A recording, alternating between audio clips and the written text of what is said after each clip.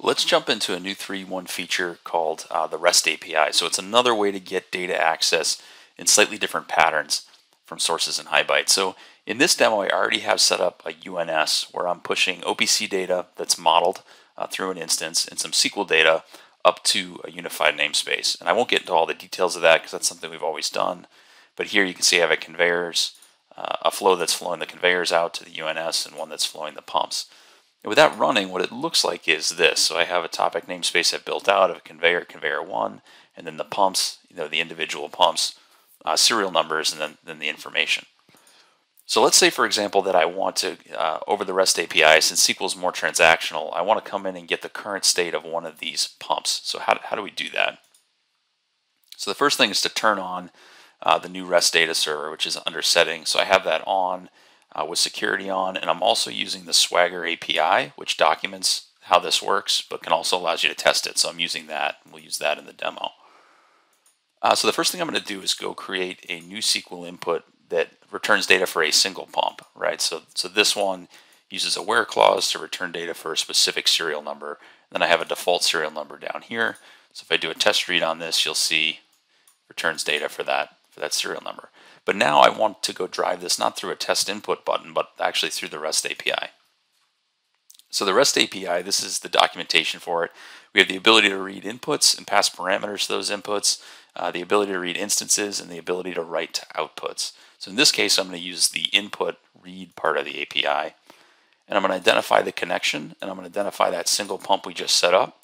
And then in the body of this request, which is a post request, I'm going to set the, uh, the variable the input parameter uh, to a particular pump that I'm interested in. So let's just grab, just to change it, we'll grab this last one.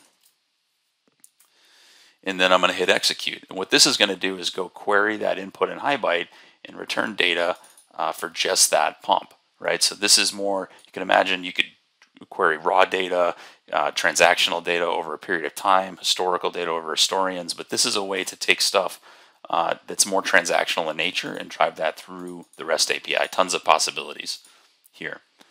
Uh, the one other thing I'll show real quick is the writes. So here I have this conveyor model, which I'm modeling on HighByte, and it has the on state that's coming from OPC.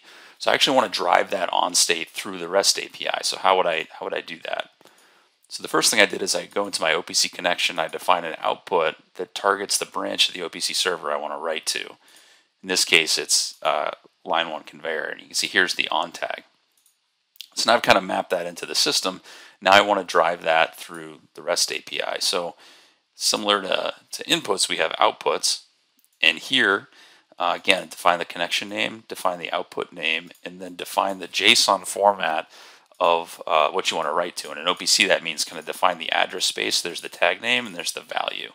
Now, if we jump back in and cheat real quick, it's, it's off now. So if I turn this to true, and do a write. Again, this goes through the REST API, out that OPC output, and translate it into OPC. And what you get is uh, it changes to true there. So really cool, tons of possibilities, kind of a different communication pattern than UNS, right? But, a, but complementary.